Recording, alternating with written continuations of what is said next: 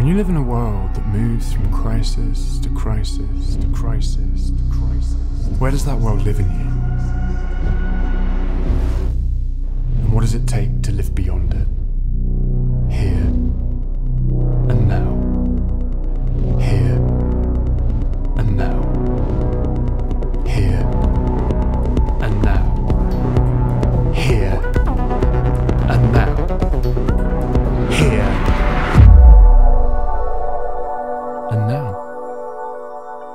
Nowhere. An antibiography. And an invitation.